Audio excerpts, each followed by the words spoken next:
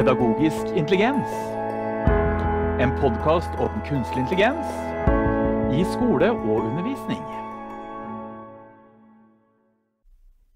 Endelig er dagen her der norske lærere lovlig kan få lov til å logge inn og bruke ChatGPT på sin arbeidsplass. Ja, dette var jo en liten sannhet med modifikasjoner, for den store nyheten som jeg nå slipper i denne episoden hvis du ikke vet det fra før, det er at søketjenesten Bing fra Microsoft det er sikkert mange som har prøvd seg på den i løpet av året i forhold til å logge inn med sin private Microsoft-konto og fått tilgang til bing.com og denne knappen som heter chat, som du finner som en blå snakkeboble oppe til venstre. Fram til nå har du måttet bruke en privat konto for at dette skal fungere.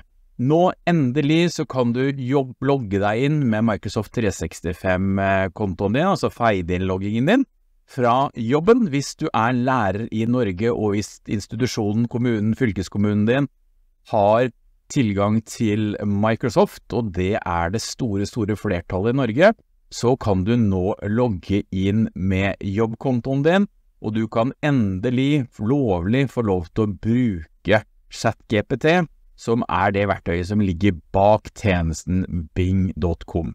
Microsoft ville sikkert ikke likt at jeg kalte det ChatGPT, men det er det det i praksis er. Og nå når du endelig får lov til å komme inn, så skal du få et praktisk tips av meg. Det er nemlig at når du kommer inn på bing.com aller første gangen, så har du litt forskjellige samtalestiler. Og samtalestiler, det betyr jo hvilken type informasjon du skal få tilbake, en slags tuning av informasjonen. Og vi har jo alle hørt om at ChatGPT hallusinerer. Og det er jo ikke ønskelig. En, en, språkmodell har jo liksom i utgangspunktet ett mål her i livet, det er å gi deg et svar. Så når du stiller et spørsmål, så ønsker språkmodellen for alt i verden å gi deg et svar som du tar en tommel opp på og gir ja, dette var et bra svar. Det er det språkmodellen lever for. Og hvis den ikke har et riktig svar, ja, da ender den opp med å finne på et svar. Så da tenkte jeg at da blir det kjempefint når Microsoft har fått en eh, samtalestil som heter presist.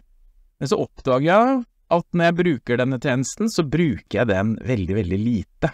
Og det er fordi at bak presis, der ligger ChatGPT 3,5. Og det samme er det med den andre samtalestilen som Bing har i sin chat, nemlig balansert. Da er den litt kreativ, og så holder den seg også ganske mye til virkeligheten. Og også her er det altså ChatGPT 3,5 som ligger bak. Og så har vi fortalt i tidligere episoder at vi syns at ChatGPT 4 er et paradigmeskifte mye bedre i forhold til hva vi syns 3,5 er. Og for å få tilgang til chat GPT 3,5, ja, da må du gå inn i kreativ modus på Bing når du søker. Det er en downside til dette. Det tar mye lengre tid å generere svar når du bruker ChatGPT4 og kreativmodusen. Men på den annen side så mener jeg at du får betraktelig mye bedre svar hvis du bruker ChatGPT4. Så merker jo jeg personlig at eh, når jeg har tilgang til Bing og har betalt for OpenAI sin ChatGPT4, så ender jeg som regel opp med å bruke ChatGPT eh, hos OpenAI, som jeg betaler 20 dollar for i måneden, enn å bruke Bing sin versjon. Men hvis du ikke er villig til å betale disse pengene, så er jo dette en kjempemulighet for deg som lærer til å nå endelig få lov til å begynne å prøve deg ut på språkmodeller.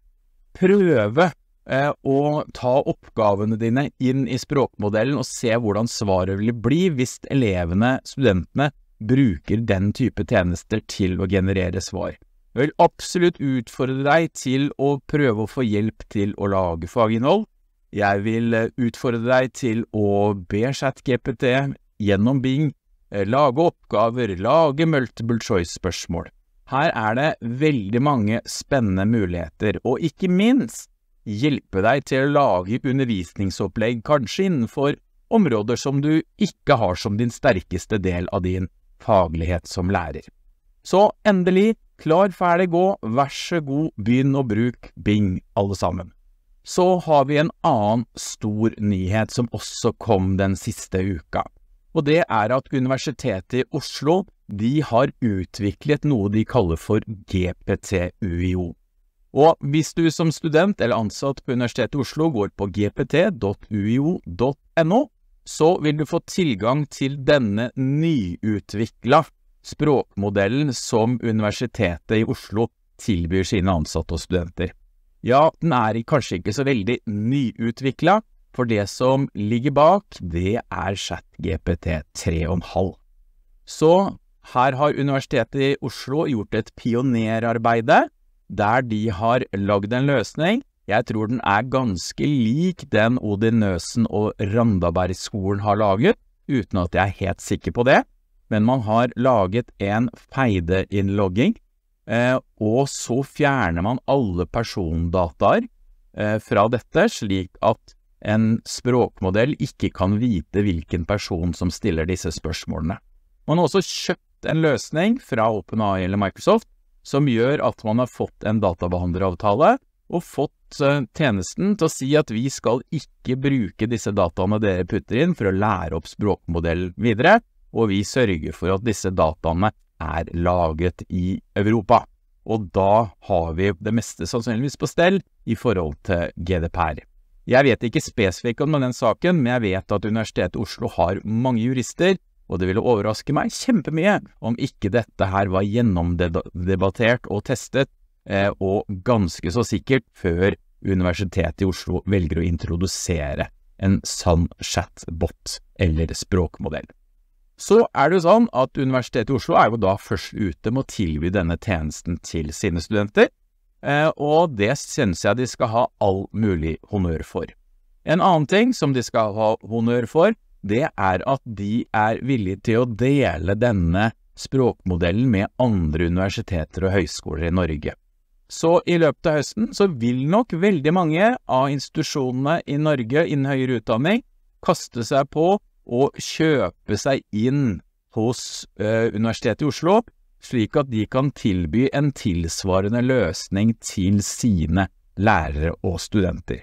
Det vil nok ta litt tid, men skal du ha en spådom gitt eh, fra min del, så gjetter jeg på at ca. halvparten av norske universiteter har dette på plass når vi begynner vårsemesteret, og at man har adoptert denne løsningen som ChatGPT bruker akkurat nå. Dette er jo veldig, veldig viktig, for det betyr jo at studentene endelig også kan få lov til å bruke ChatGPT. Som vi snakket om i den første saken, så kan jo nå lærere få tilgang til ChatGPT gjennom Bing, men Bing kommer ikke på en god tid ennå å tilby dette for norske elever og studenter via eh, en pålogging med feide og brukernavn og passord fra en institusjon i Norge. Så denne løsningen som UiO har utviklet, eh, GPT-UiO, blir sannsynligvis den første løsningen som kommer ut til norske studenter. Kjempe, kjempegod nyhet, tenker jeg det, spesielt for studentene og for lærerne i høyere utdanning og for lærerne i grunnskolen. Nå venter vi bare på en tilsvarende løsning for alle norske elever. Vi er utålmodige.